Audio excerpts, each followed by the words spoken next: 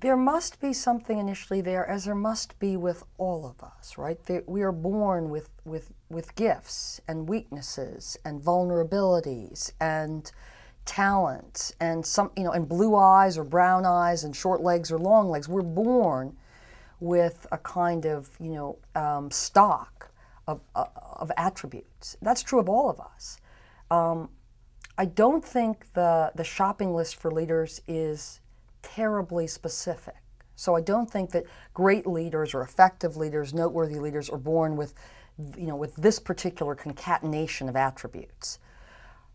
I think what determines whether a leader is effective is how they use not only their talents, their strengths, and their experiences, right, that, they, that happen to them, that they come to along their journey, but also what they make of their failures, their own vulnerabilities, their own weaknesses, and, and finally, a host of attributes that I think some leaders purposely, effectively cultivate, as Lincoln did.